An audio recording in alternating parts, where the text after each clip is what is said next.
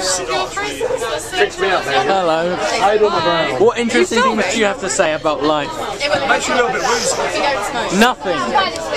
You have nothing to say. Alright, so if I turned on you, okay, what interesting things do you have to say about life, Tom McInnes? Okay, well, I- Tom McInnes is a real name, but the thing is, right, you just want to sound better than you are, which is like uh, the epitome of what you are. Go A on. man's waiting. Okay, I've got nothing. Oh, it's got nothing now. Hey, hey, let, let, let, let's turn the focus on Beth. Hey, Beth. Tell us something interesting about life.